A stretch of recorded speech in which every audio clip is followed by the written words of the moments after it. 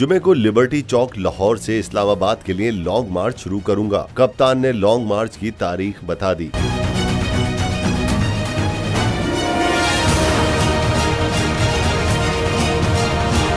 मैं आज आपके सामने लॉन्ग मार्च का ऐलान कर रहा हूँ जुमे को। शुरू हो रहा है। मैं जुमे को लीड करूँगा उसको।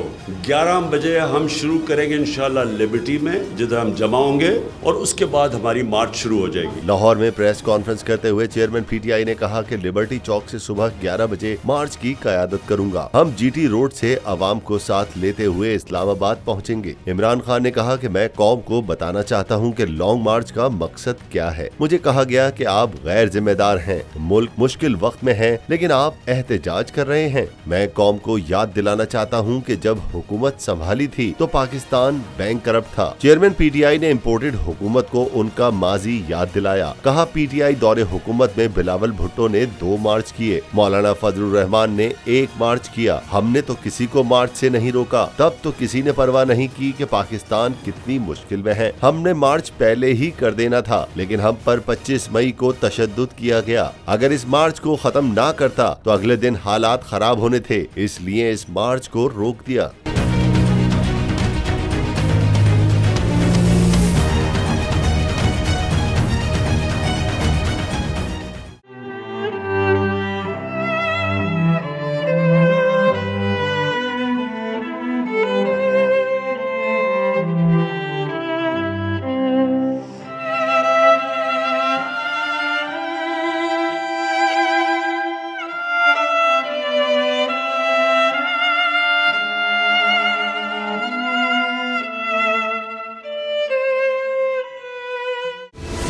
सबसे बड़ी कवरेज सबसे बड़े पैनलिस्ट हमने तो बड़ी पीएमएलएन के वार सहे वो भी बिला वजह। सबसे ज़्यादा रिपोर्टर्स इलेक्शन कमीशन की जानब से कोई इंतज़ाम इतने अच्छे तरीके से नहीं किए गए।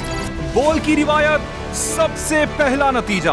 अहम खबर है बहावल नगर भी कप्तान का। पीटीआई कामयाब मुकम्मल गैर हतमी गैर सरकारी नतीजा सिर्फ़ बोल न्यूज़ पर। लम्हा बा लम्हा इलेक्शन की खबर सिर्फ़ बोल पर। सब्सक्राइब करें और बेल दबाएँ ताकि कोई खबर रह न जाए।